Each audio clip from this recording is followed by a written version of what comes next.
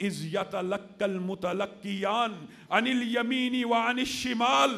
کون ہے جو دائیں والے کی ریکارڈنگ سے بچ جائے؟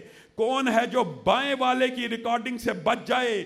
کرامن کاتبین کی ریکارڈنگ سے کون بچ سکتا ہے؟ کسی کے ذہن میں یہ اندیشہ آ سکتا ہے، یہ وسوسہ آ سکتا ہے، کوئی خیال آ سکتا ہے کہ یہ تو اللہ نے صرف لفظ کے بارے میں کہہ دیا، ہاتھ کے عمل کے بارے میں کہہ دیا۔ ہم نے تو حدیث پڑھی تھی، ہم نے تو حدیث سنی تھی کہ انسان جب نیکی کا خیال بھی لاتا ہے، ابھی ارادہ بھی نہیں ہوتا، ابھی ارادہ بھی نہیں، نیت بھی نہیں، ابھی کرنے کا عدم بھی نہیں۔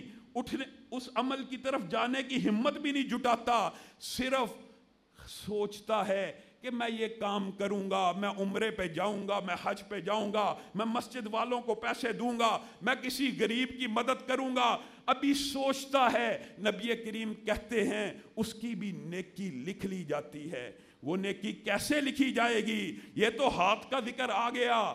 یہ تو زبان کا ذکر آ گیا۔ آؤ، لوگو، اللہ کی ریکارڈنگ اتنی عمدہ ہے۔ اللہ کہتا ہے، یہ جو خیالات ہیں، یہ جو وسوسے ہیں وَنَعْلَمُ مَا تُوَسْوِسُ بِهِ نَفْسُ۔ نہ ان کو فرشتے ریکارڈ کرتے ہیں، نہ ان کو کرامن کاتبین ریکارڈ کرتے ہیں۔ ان کو تمہارا رب خود ریکارڈ کر رہا ہوتا ہے۔ وَنَحْنُ أَقْرَبُ إِلَيْهِ مِنْ حَبْلِ الْوَرِيدِ۔ اور تم دلوں کے خیالات کی بات کرتے ہو۔ ہم تمہاری شہرگ حیات سے بھی زیادہ قریب ہیں۔ ہم تمہاری ایسی ریکارڈنگ کریں گے۔ فمن یعمل مسکالا ذرہ مسکالا ذرہ مسکالا ذرہ ایک ذرے کے برابر نیکی کرو گے۔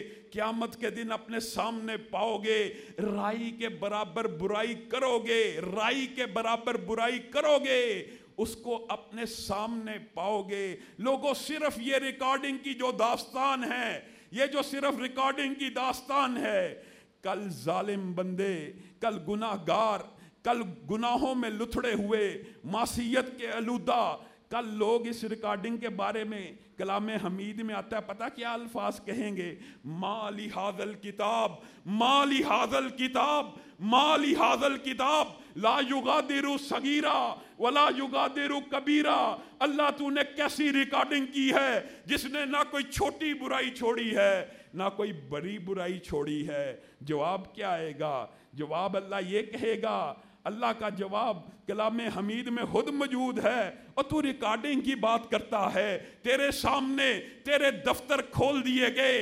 فلاں دن دس تری، دس بج کے دس منٹ دس سیکنڈ کے اوپر تو نے یہ عمل کیا تھا۔ ہمارے رجسٹر میں درج ہے کہ نہیں، بندہ پریشان ہو جائے گا۔ اللہ کہے گا اکرا اکرا کتاب کا اکرا کتاب کا کفا بھی نفسی کل یوم علیہ کا حسیبہ اے میرے بندے، اب مجھ سے حساب کتاب کیا کرنا؟ تیری ریکارڈنگ تجھے دیتا ہوں۔ اکرا کتاب کا اپنی ریکارڈنگ خود پڑھ لے اور جا۔ اپنی ریکارڈنگ دیکھ کر خود ہی حساب کتاب بھی لگا لے، تو نے دنیا اچھی گزاری ہے کہ بری گزاری؟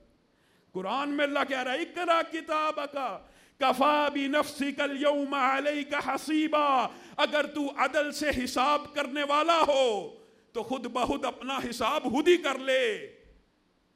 اور لوگوں حساب کتاب کا اتنا عمدہ نظام اور بعض اللہ ان لوگوں سے بچائے۔ جب حساب کتاب کے اندر بری کتاب ان کو دے دی جائے گی، وہ ایک لمبا چوڑا باب ہے، ایک لمبی چوڑی تفصیل ہے، لیکن بعض خوش قسمت ایسے بھی ہوں گے جن کو دائیں ہاتھ میں نامہ اعمال پکڑا دیا جائے گا۔ وہ اللہ رب العزت نے جو زندگی کا مقصد پوری کی پوری لائف کا جو نچوڑ ہے، اگر ہم کہیں اس ایک آیت میں اللہ نے بیان کر دیا ہے تو بے جا نہیں ہوگا۔ جب عمدہ نتیجہ دیکھے گا، جب اپنا رزلٹ دیکھے گا، اپنی ریکارڈنگیں دیکھے گا، ہائے، یہ نیکی، یہ تو مجھے یاد نہیں، اور یہ تیرا صدقہ ہے، اس کی رب نے پرورش کی ہے، عہد پہاڑ سے بڑھا دیا، یہ نیکی، یہ تو مجھے یاد نہیں، یہ تیری فلاں نیکی ہے احلاس نیت سے ہوئی ہوئی، اللہ نے عہد پہاڑ سے بری کر دی۔ اتنی نیکیاں دیکھتا جائے گا، خوش ہوتا جائے گا، رب سے اچھے کی امید کرتا تھا اچھا گمان کرتا تھا۔ جب اس کے دائیں ہاتھ میں نامہ امال پکڑا دیا جائے گا، پتہ کیا کہے گا؟ ہا امکرا او کتابیا۔ اور لوگوں یہ نعرہ اردو میں بھی استعمال ہوتا ہے۔ اچھا نتیجہ نکل آئے اچھا رزلٹ آ جائے، سکول سے بندہ پاس ہو جائے۔ گھر آ کے کیا کہتا ہے؟ آہا، اے میری ماں، اے میرے باپ، واہ واہ، آہا دیکھو، میرا کتنا عمدہ نتیجہ نکل آیا۔